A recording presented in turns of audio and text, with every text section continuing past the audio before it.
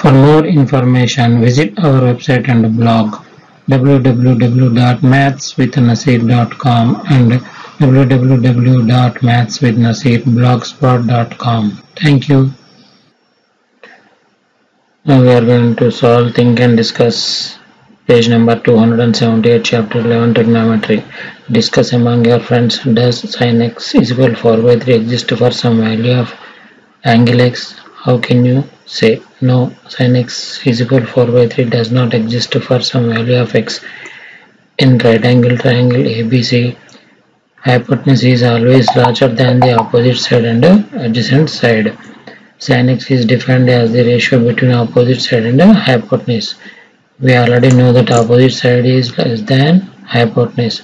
But according to the given problem, 4 is less than 3. If we divide 4 with 3, we get its value more than 1. So it is not possible. Now second one, the value of sin A and cos A is always less than 1 y.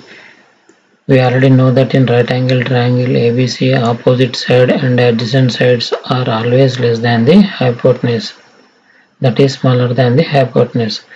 By the definition of sin A we can define it as a ratio between opposite side and hypotenuse and A is defined as the adjacent side by hypotenuse.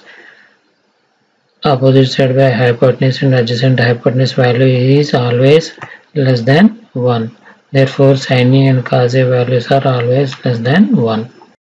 Third one is tan A product of tan A and A. Justify your answer.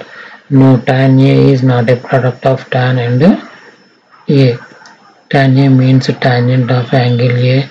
Tangent of angle A is the ratio between the opposite side to angle A and adjacent side to the angle A. Therefore, tangent of angle A is defined as ratio between opposite side to angle A by adjacent side to angle A. Please like, share, subscribe our channel for latest updates by pressing the bell icon. For more information, visit our website and blog www.mathswithnaseer.com and www.mathswithnaseerblogspot.com. Thank you.